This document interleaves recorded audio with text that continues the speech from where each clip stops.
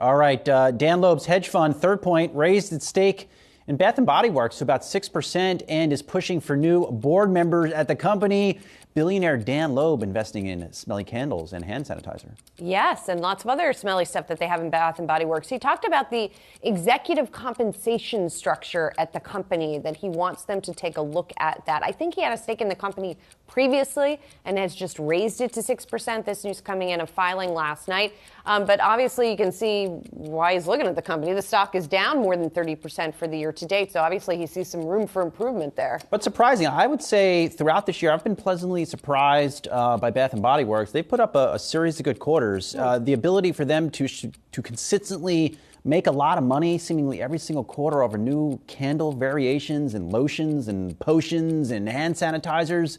It's pretty remarkable. They've had some good quarters. I can't go in that place. It's too. It's over- too it's much. overbearing. It's a lot. Are you are you a bath bomb guy? Uh, no, I don't take baths. I don't really have a good bath. And most people don't take. yeah, but I'm open to it. You know, it's cool. If I had a good bath, I definitely would. Okay. I mean, it's fun. Just drop it in the, Noted. in the Noted. water, yeah. Thank you.